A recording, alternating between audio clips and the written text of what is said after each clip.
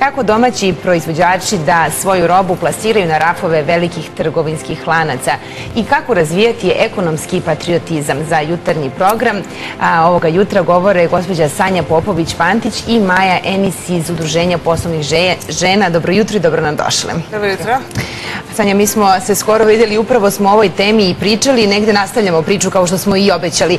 A, eto, za početak možda da podsjetimo sve naše gledalce koji nas možda nisu pratili u tom trenutku, kako tačno Udruženje poslovnih žena postiče zapravo ulazak žena u lance dobavljača i zašto baš to? Zašto je to akcent na ženama? Kao što ste baš rekli na početku, zaista je teško malim firmama da uđu u lance dobavljača iz mnogo razloga. Uglavnom su to visoke ulazne barijere, što znači da je to skupo i da me prosto male eh, firme nemaju taj kapacitet. Eh, pre svega zahtevaju se i eh, naravno standardi kvaliteta koji su takođe izuzetno skupi i mm, zahtev, zahtevi u pogledu obima i tako dalje. S druge strane, ono što je najrizičnije od svega jeste ti dugovi rokovi plaćanja robe i to naravno malim preduzećima svakako nije lako da podmire.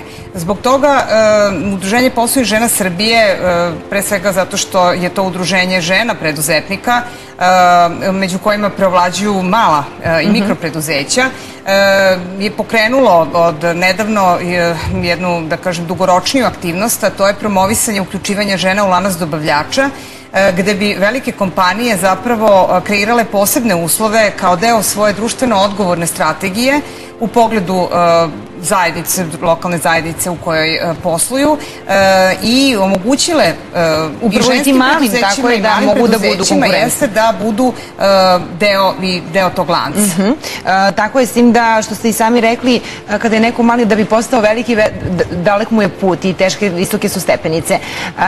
Majo, kakva je vaša situacija? Vi ste nam ovde kao predstavnik, je li tako, jedne od upravo firmi koje, su, koje se bore sa ovom pričom o kojoj sada sa priča. Tako je, ja sam e, Maja Enis, vlasnica izdavačke kuće Enko Bug, znači mi se bavimo proizvodnjom, proizvodnjom kreiranjem slikovnica, mhm. već 22 godine smo na e, tržištu Srbije. E, specifično je, svaka firma iz udruženja ima svoju specifičnost, ali u suštini svima nama zajedničko da smo mi proizvođači i da proizvodimo proizvode male smo, do mikrofirme, do pet zaposlenih i nama je to komplikovano uči u lante dobavljača koji opet u svakoj branši, bilo da su slikovnice, bilo da su roba široke potrošnje, odeća, e, kožna galanterija, oni traže jednog do dva velika dobavljača jer je mnogo njima teško i komplikovano da se da se bori sa, malih, tako je. u jednom artiklu sa više dobavljača, sa mnogo dobavljača. Plus ti troškovi, o čemu je Sanja pričala, koji su za nas male Zašto preveliki. Zašto je to toliko skupo? Šta je to e, što, mi stalno govorimo da je ta vrsta ulaza preskupa za male proizvođače? Standardi i ugovori koji postoje, koji su zajednički za sve. Zato je nama ovo jako važno i značajno što se preko udruženja žena umrežavamo, više malih, činimo jednu, jedno telo i početak je saradnja preko uh, online portala Tako lako. Mm -hmm. Nas je 11, ja mislim 11 koje smo se umrežile i potpisan je taj krovni ugovor i sad kreće ta saradnja što nama povećava i vidljivost. Znači da, da naši proizvodi koji su specifični, proizvedeni u Srbiji, moje edukativne slikovnice stvara jeste tim pedagoga, vaspitača, učitelja. One nastaju ovde, namenjene su našoj deci i to nama povećava mogućnost vidljivosti da naši roditelji, znači da to dođe do potrošača. prepoznaju o čemu se radi, da mogu pronaći i mislim da je to veoma značajno. Dakle, vaša ideja je bila da, da kažemo, mala mikropreduzeća skopite u jednu koja će biti jako i koja će moći da se izbori upravo sa ovim problemima o kojima govorimo. Jeste i upravo je zgodan medij da se to ovaj, obezbedi. Online platforma, odnosno veliki i najveći portal za elektronsku trgovinu tako lako i gde mi imamo svoj posebni baner u mhm. okviru kategorije pokloni gde se nalaze dakle e, oko 40 proizvoda e, naših članica, među njima i majine knjige i e, kožna galanterija i neki odevni predmeti i sve ono što smatramo da je lepo za poklon. Što bi rekli domaće proizvodnja kupuj domaći, jer samo da naučimo kako ih gde, da to je negde ideja, zar ne? Jeste, naravno, ovaj, potrebno je dosta edukacije i dosta promocije e, da prosto ljudima uđe to u, da kažem, neku naviku, jer prosto velika je, veliki pritisak e, reklama, dakle, poznatih brendova, stranih brendova, tako da je ovaj, Da li su naši proizvodi naći ovaj. konkurentni upravo kada govorite o st- stranim, e, već poznatim brendovima? Ja mislim da jesu i mislim da je taj odnos cena-kvalitet definitivno ide u korist srpskih proizvoda. Da li to prepoznaju i naši potrošači ili možda već i strani?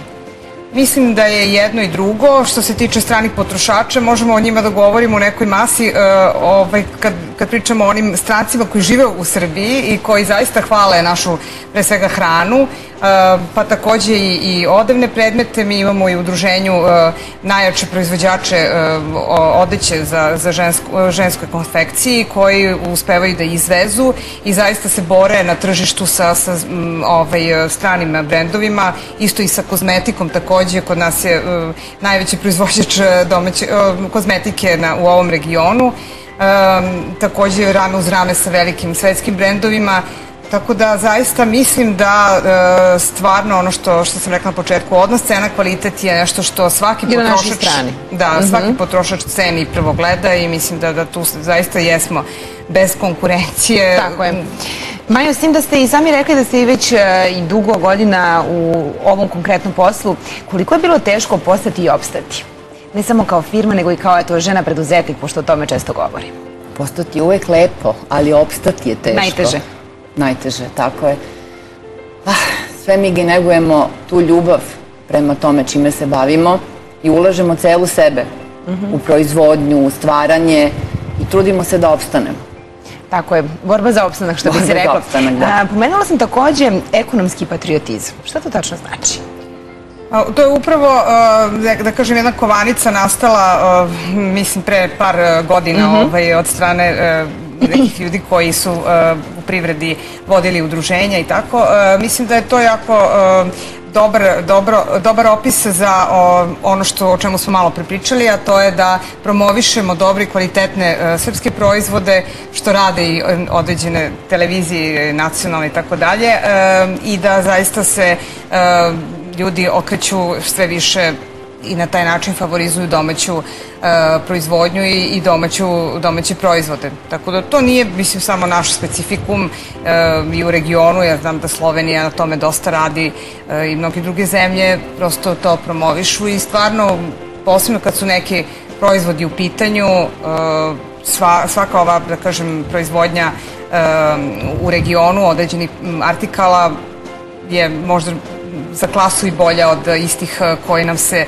u velikim količinama nude i koje se u velikim količinama nalaze na našem tržištu upravo zbog eh, neadekvatne, rekla bih, uvozne politike.